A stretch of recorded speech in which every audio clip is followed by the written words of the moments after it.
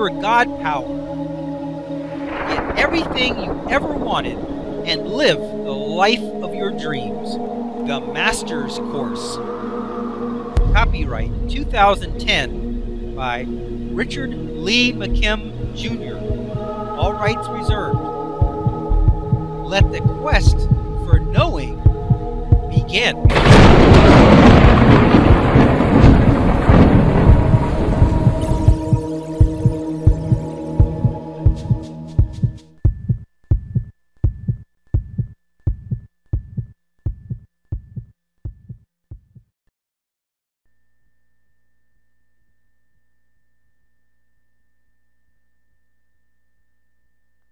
The Universal Tool Bag. The best way to get the results that you want from the universe through the power of resonance is to focus on what you want in its final form. Planning, while beneficial to a point, can sometimes limit your eliciting power. The universe has special abilities or tools for creating your experience that you do not have access to. These are special properties of resonance that you can benefit from but you cannot plan with them. Let's say that you want to have a store selling widgets, because every business course in history is always referring to widgets. So, thinking that planning to the last detail is the only way to go, you plan everything. You will get a storefront, get a loan from a bank, and get widgets from the widget distributor.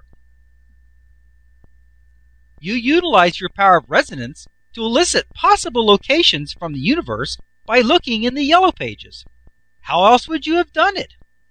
You then concentrate on getting money from a bank, and eventually you elicit a loan from a bank.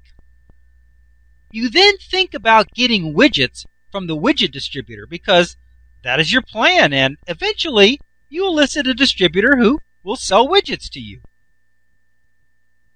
You reflect on your accomplishments and are quite pleased with yourself.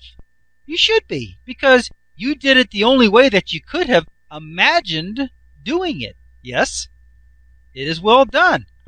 But, like the game show host would say, you have done well, but let's see what you could have gotten behind door number two. Less planning and more imagining. If you had spent more time focused on your final goal, as it would be in its final state, you may have elicited very different results. By focusing on a strict plan, you did not allow the universe to use its special bag of tools that are not available to you. If you had thought, I want to have a store of my own in which I can sell widgets, and it doesn't matter how it happens, you might have elicited some more interesting results, including accidents and coincidences. You might have gotten into a small fender bender when a car slammed you from behind. After speaking with the driver of the other car, you find out that she's a real estate broker and she ends up giving you a really great deal on an ideal property, better than the one you would have otherwise had. Then you are at the store one day picking up some milk when you get the urge to buy a lottery ticket. So you do. That night, you can't believe it. You are the winner. You have won most of the money that you will need to open your store. A couple of days later, you get a call from an old fraternity brother of yours and have a great time talking about the good old days when he asks you, What are you up to these days? You tell them about the store you're going to open and your winnings and that you will be selling widgets. he exclaims, I have a brother in law whose dad owns a widget factory. I can get those to you at half of what you would normally pay. Wow! What an amazing series of accidents and coincidences that have led to this wonderful result. Of course, we know that there's no such thing as real coincidences or accidents.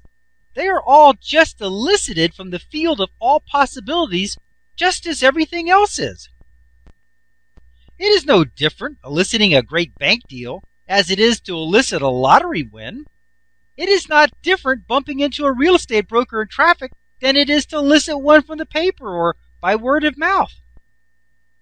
These are all just events and situations that form due to the resonant frequency that elicits and forms them. The only difference is you can't plan accidents or coincidences, and the universe can.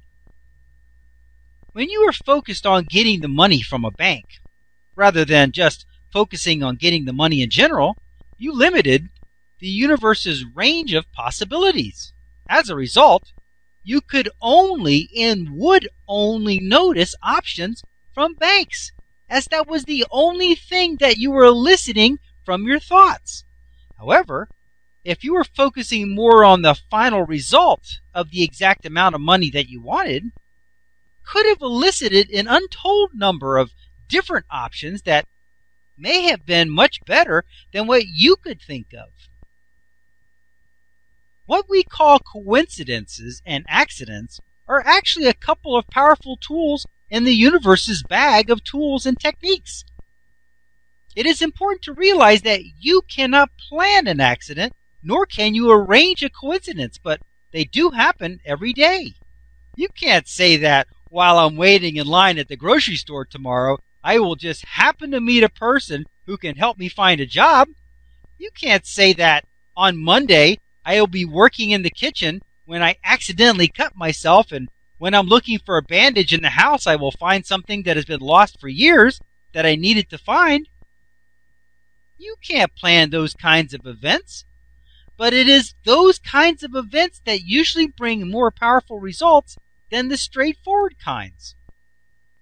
How do you take advantage of these wonderful universal tools? Simple. Just know that everything is working out for you and that anything can happen. Some people prefer to word it as God works in mysterious ways. As far as our widget store example, have a normal plan, but also be on the lookout for other possibilities. If you have a car wreck or knock someone over at the store, why did that happen? What could this be? By keeping your thoughts on your final and ultimate goal, you keep resonance acting on it instead of the intermediary steps. For instance, you might want a pay increase because you want to retire early. But you are so focused on the pay raise as the only option to the point that other possibilities that could have happened didn't. The lottery ticket that you bought is a loser because you are focused on the pay increase and not the early retirement. In short, know that while you have the power to attract accidents and coincidences into your experience for the good or the bad, you cannot plan them. Whether or not they turn out good or bad will depend on either the positive or negative group of possibilities that you are resonating with and or the meaning that you give the accident or the coincidence when it occurs. Most importantly, keep your mind and thoughts focused on the main outcome that you want and not as much on the steps to get there. Let those reveal themselves as you go. The only exception to this rule is that it is always about the experience. So if you want some of the particular steps, then by all means, focus on those and elicit them into your experience. In short, focus on the most important points that you want first, and then focus on the rest in order of their importance.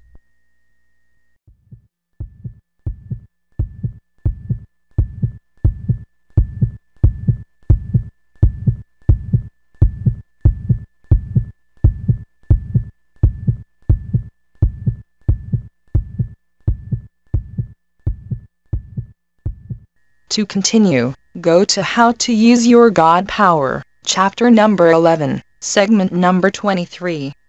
Let your quest for knowing continue.